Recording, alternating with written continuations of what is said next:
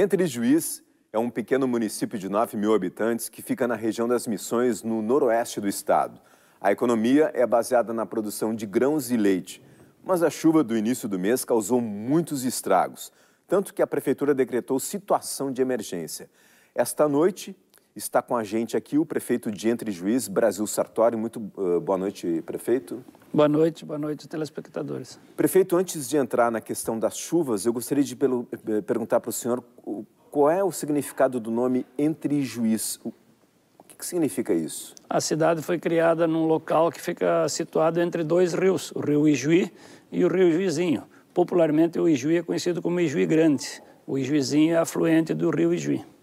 E as cheias acontecem aí na confluência dos dois? É, na verdade, as cheias acontecem nos dois, mas a maior, a, o rio Ijuí que passa tangenciando a cidade que acontece alguma questão de alagamento. No caso, nessa cheia, nós tivemos sete famílias que tiveram que ser alocadas por questão da enchente. E evidentemente que com as chuvas, as pastagens e atraso, atraso no plantio do trigo, as estradas ficaram extremamente Uh, destruídas. Hoje nós temos que refazer todas as estradas, alguns pontilhões, algumas pontes. Estão na avaliação entre prejuízos públicos e prejuízos privados, nós chegamos a uma avaliação de acima de 6 milhões no município de prejuízo. Agora, prefeito, o senhor também é presidente da Associação dos Municípios uh, das Missões, que reúne 26 cidades.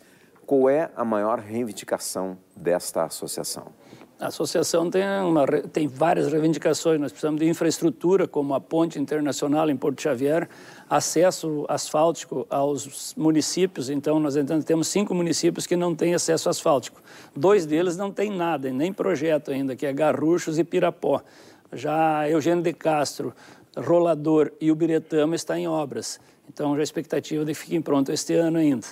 Ah, nós temos a questão de acesso aos sítios arqueológicos, dos, dos sítios arqueológicos dos missioneiros lá, que também tem São Nicolau e São João Batista, que ainda não tem acesso. Recursos para isso, como é que vocês pretendem A gente pretende, o, nós, surgiu ah, uma possibilidade de um financiamento do BID, é, para os quatro, para os cinco países que envolvem o turismo aqui na América Latina, aqui na América do Sul. Uhum. E então seria cotizado 20 milhões de dólares para cada país.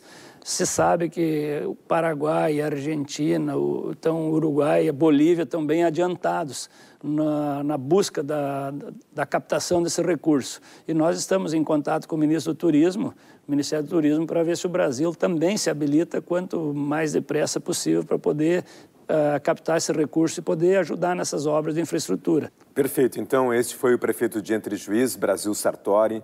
Muito obrigado pela sua participação aqui no Panorama. Nós que agradecemos em nome do município de Entre e em nome da Associação do Município das Missões.